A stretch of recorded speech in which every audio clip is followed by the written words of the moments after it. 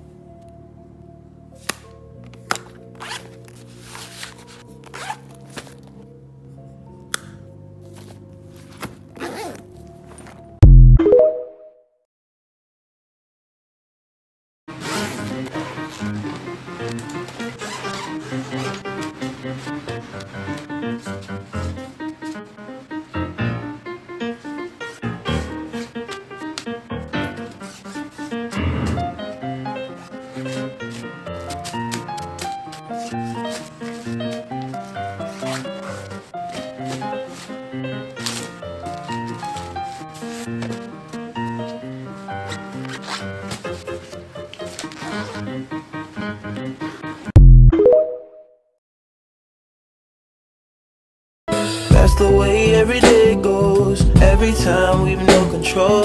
If the sky is pink and white, if the ground is black and yellow, it's the same way you showed me. Nod my head, don't close my eyes. Halfway on a slow move, it's the same way you showed me.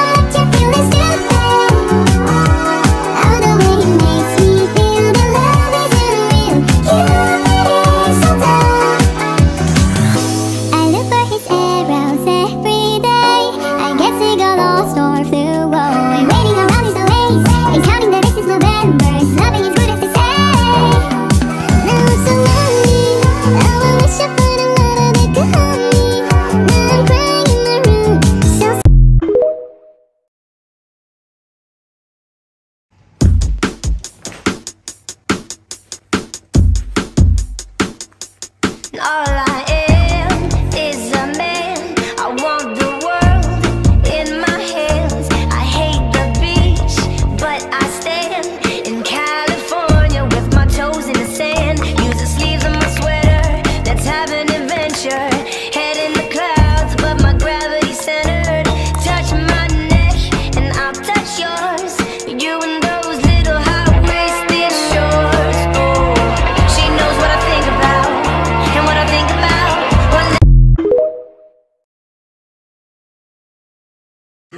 my carry-on toiletry bag for a beachy vacation like a cruise. The bag I'm using is the Calpak Cosmetics case in size small and it is my go-to toiletry bag. To meet carry-on requirements, all the liquids I'm packing inside are under 3.4 ounces or 100 milliliters, including these two sunscreens that I'm packing, which I always pack more than one sunscreen for a longer beach trip. For any of my favorite products that are over 100 milliliters, I depot them into these silicone travel jars from Amazon. These come in a four pack and are really great for packing your liquids. Inside these silicone jars, I am depotting my face face lotion, my aloe gel, which is a must bring for me anytime I'm spending a long period of time in the sun, and also my favorite Amazon shower scrub, which I use in the shower in order to get rid of any flaky skin. I'm also packing my favorite makeup remover that gets rid of waterproof makeup, and the rest of the items on the side are shower basics like my razor and shampoo and conditioner. On the other side of the bag, I'm packing my roll-on deodorant, some dry shampoo, which is a must for beach hair for me, my face sunscreen, and also my face massager, which I use to wash my face. This is from Amazon and will be linked in my travel favorites list. I'm also packing a mini toothpaste, some eye cream, and a little chapstick, as well as my scrunchie I use to hold back my hair while I'm washing my face, and my toothbrush. I'm also stuffing this little mini bag with some face masks, some eye mask, and a bunch of skincare samples I want to use up on the trip. And that is everything I'm packing in my summer carry-on toiletry bag. Like I said, all of my liquids are 100 milliliters or less, so they are okay in this bag in the US, but if you are traveling internationally, you need to make sure all of your liquid items fit into a quart-sized Ziploc specifically. International is notoriously more strict about their liquids, so make sure you are looking up the regulations for the airport you're flying through. Let me know if you have any questions in the comments.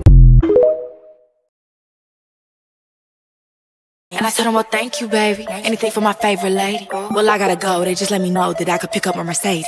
I got hoes in different area codes.